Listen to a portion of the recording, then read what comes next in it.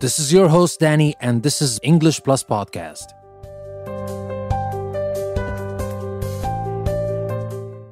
You can have English Plus premium episodes if you subscribe on Apple Podcasts or if you become a patron on Patreon. And if you become a patron, you will also get every issue of English Plus magazine. Issue 1 is out, and every week we're going to have a new issue. The links are in the description if you would like to subscribe and have all the premium and extra benefits English Plus podcast has to offer.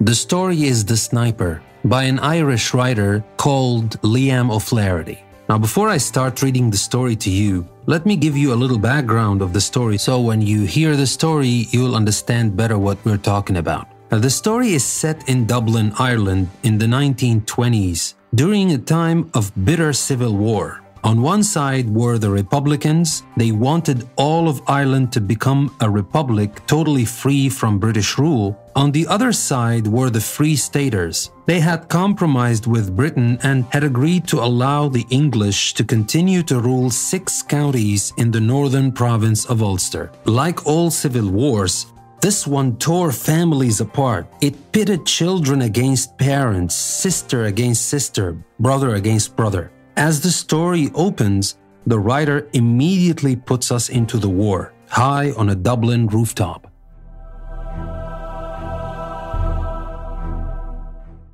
The Sniper by Liam O'Flaherty. The long June twilight faded into night. Dublin lay enveloped in darkness but for the dim light of the moon that shone through fleecy clouds, casting a pale light as approaching dawn over the streets and the dark waters of the Liffey. Around the beleaguered four courts, the heavy guns roared. Here and there through the city, machine guns and rifles broke the silence of the night, spasmodically like dogs barking on lone farms. Republicans and Free Staters were waging civil war. On a rooftop near O'Connell Bridge, a Republican sniper lay watching. Beside him lay his rifle, and over his shoulder was slung a pair of field glasses. His face was the face of a student, thin and ascetic, but his eyes had the cold gleam of the fanatic. They were deep and thoughtful, the eyes of a man who is used to looking at death. He was eating a sandwich hungrily. He had eaten nothing since morning. He had been too excited to eat. He finished the sandwich and, taking a flask of whiskey from his pocket, he took a short draught. Then he returned the flask to his pocket. He paused for a moment, considering whether he should risk a smoke. It was dangerous. The flash might be seen in the darkness and there were enemies watching. He decided to take the risk. Placing a cigarette between his lips, he struck a match, inhaled the smoke hurriedly, and put out the light. Almost immediately, a bullet flattened itself against the parapet of the roof. The sniper took another whiff and put out the cigarette. Then he swore softly and crawled away to the left. Cautiously, he raised himself and peered over the parapet. There was a flash and a bullet whizzed over his head. He dropped immediately. He had seen the flash. It came from the opposite side of the street. He rolled over the roof to a chimney stack in the near and slowly drew himself up behind it until his eyes were level with the top of the parapet. There was nothing to be seen, just a dim outline of the opposite housetop against the blue sky. His enemy was under cover. Just then, an armored car came across the bridge and advanced slowly up the street. It stopped on the opposite side of the street 50 yards ahead. The sniper could hear the dull panting of the motor. His heart beat faster. It was an enemy car. He wanted to fire, but he knew it was useless. His bullets would never pierce the steel that covered the gray monster. Then, round the corner of a side street came an old woman, her head covered by a tattered shawl. She began to talk to the man in the turret of the car. She was pointing to the roof where the sniper lay, an informer. The turret opened a man's head and shoulders appeared, looking toward the sniper. The sniper raised his rifle and fired. The head fell heavily on the turret wall. The woman darted toward the side street. The sniper fired again. The woman whirled round and fell with a shriek into the gutter. Suddenly, from the opposite roof, a shot rang out and the sniper dropped his rifle with a curse. The rifle clattered to the roof. The sniper thought the noise would wake the dead. He stopped to pick his rifle up. He couldn't lift it. His forearm was dead. I'm hit, he muttered. Dropping flat onto the roof, he crawled back to the parapet. With his left hand, he felt the injured right forearm. The blood was oozing through the sleeve of his coat. There was no pain, just a deadened sensation as if the arm had been cut off. Quickly, he drew his knife from his pocket, opened it on the breastwork of the parapet, and ripped open the sleeve. There was a small hole where the bullet had entered. On the other side, there was no hole. The bullet had lodged in the bone. It must have fractured it. He bent the arm below the wound. The arm bent back easily. He ground his teeth to overcome the pain. Then, taking out his field dressing, he ripped open the packet with his knife. He broke the neck of the iodine bottle and let the bitter fluid drip into the wound. A paroxysm of pain swept through him. He placed the cotton wadding over the wound and wrapped the dressing over it. He tied the ends with his teeth. Then he lay still against the parapet, and closing his eyes, he made an effort of will to overcome the pain. In the street beneath, all was still. The armored car had retired speedily over the bridge with the machine gunner's head hanging lifeless over the turret. The woman's corpse lay still in the gutter. The sniper lay still for a long time, nursing his wounded arm and planning escape. Morning must not find him wounded on the roof. The enemy on the opposite roof covered his escape. He must kill that enemy, and he could not use his rifle.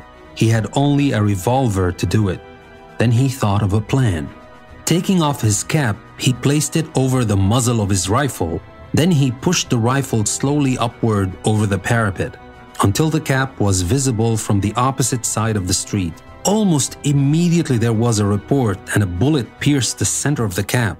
The sniper slanted the rifle forward. The cap slipped down into the street. Then, catching the rifle in the middle, the sniper dropped his left hand over the roof and let it hang lifelessly.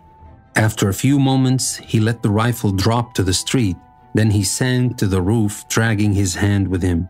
Crawling quickly to the left, he peered up at the corner of the roof. His ruse had succeeded.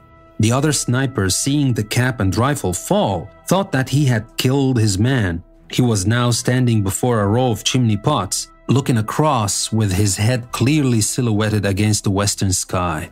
The Republican sniper smiled and lifted his revolver above the edge of the parapet. The distance was about 50 yards, a hard shot in the dim light, and his right arm was paining him like a thousand devils.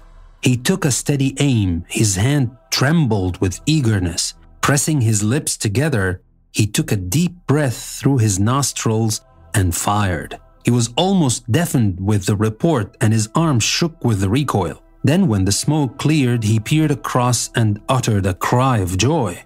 His enemy had been hit. He was reeling over the parapet in his death agony.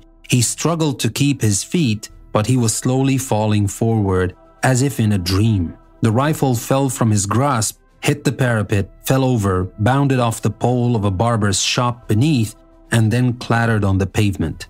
Then the dying man on the roof crumpled up and fell forward.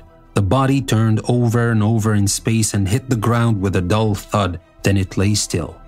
The sniper looked at his enemy falling and he shuddered. The lust of battle died in him. He became bitten with remorse. The sweat stood out in beads on his forehead.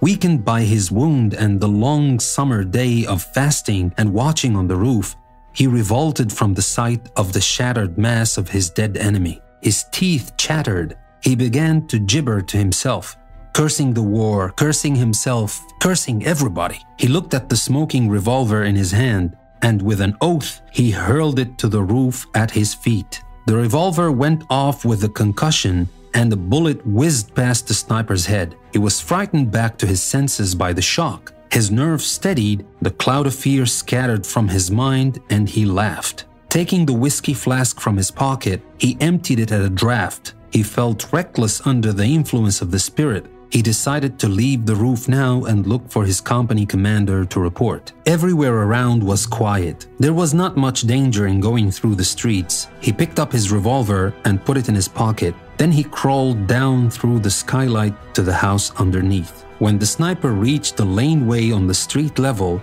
he felt a sudden curiosity as to the identity of the enemy sniper whom he had killed. He decided that he was a good shot, whoever he was. He wondered did he know him? Perhaps he had been in his own company before the split in the army. He decided to risk going over to have a look at him. He peered around the corner into O'Connell Street. In the upper part of the street, there was heavy firing, but around here, all was quiet. The sniper darted across the street. A machine gun tore up the ground around him with a hail of bullets, but he escaped. He threw himself face downward beside the corpse. The machine gun stopped. Then the sniper turned over the dead body and looked into his brother's face.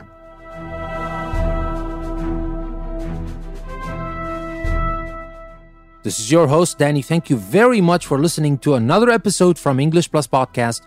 I will see you next time.